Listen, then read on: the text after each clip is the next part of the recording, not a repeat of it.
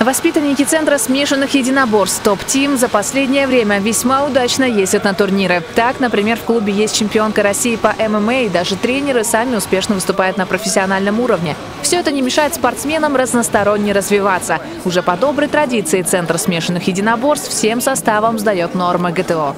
Неспроста мы поставили сдачу норм ГТО летом, потому как есть такой у нас э, принцип периодизации.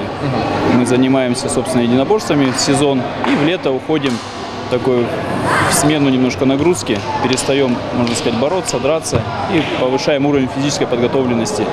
И как э, результат в итоге вот сдаем нормы ГТО, чтобы проверить, в общем-то, свою физическую подготовку. Как отмечают организаторы, в прошлом году нормативы сдали около 50 ребят. В этом их уже больше 80. Интерес растет.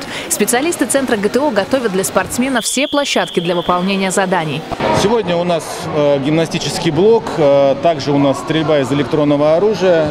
Э, вот. Гимнастический блок – это мы будем проверять гибкость, мы будем проверять силу, мы будем проверять ловкость, прыжок. Э, Вот. Э, А также мы будем э, у них принимать такой норматив, как самозащита без оружия.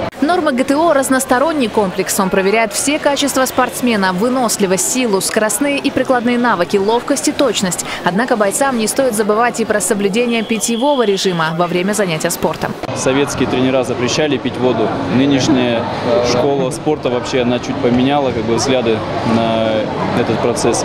Сейчас обязательно ребята пьют водичку во время тренировки. Как чистую воду, так и изотонические напитки. Поэтому это очень важный элемент в подготовке спортсменов.